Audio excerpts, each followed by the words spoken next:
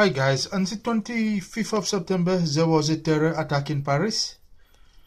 Two people were wounded by a knife uh, attack uh, close to the Charlie Hebdo, uh, which is a newspaper in France.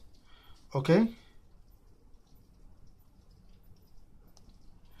So there was an attack in Paris, France on the 25th of, September where two people were uh, wounded and uh, it has happened at the near the Charlie Hebdo newspaper.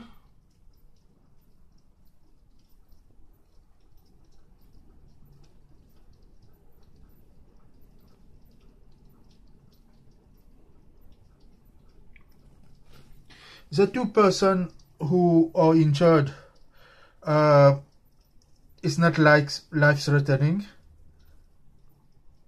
okay they will be uh, okay. And they work just uh, in a documentary production company okay? The documentary production company which is just adjacent to the Charlie Hebdo uh, newspaper office. You guys can read it there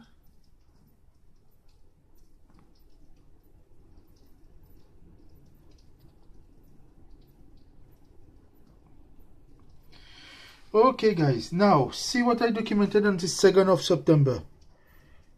Meaning like a few weeks before this attack happened. And the title is Terror Attack on Newspaper. Okay, so I knew it somewhere somehow there is going to be a, an attack on a newspaper or magazine publishing company. And I knew it also, it could happen in, in France. And it's documented there.